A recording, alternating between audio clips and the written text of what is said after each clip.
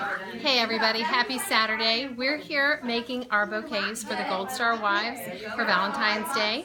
And um, we've had a group of probably 30 people coming and going all day today working on crafting these flowers. You know, you don't have to be super crafty. If you can cut a circle, if you can use a stapler, you can come help us make these flowers so that we can send them to Gold Star Wives for Valentine's Day.